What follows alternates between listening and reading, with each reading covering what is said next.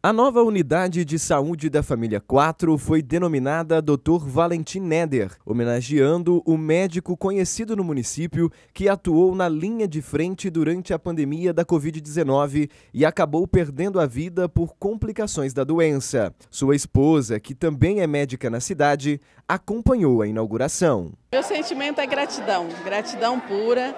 Né? Nós viemos para Alto Garças e aqui fizemos nossa vida e o Valentim partiu, mas eu continuo aqui, trabalhando, lutando pela nossa população. Bom, doutora, a senhora conhecia ele muito bem, né? Sabendo do doutor Valentim, como que a senhora pensaria que ele gostaria, né, de ser lembrado aqui no nosso município? Com toda certeza, como um herói da medicina. E ele fez muito pela medicina em Alto Garças.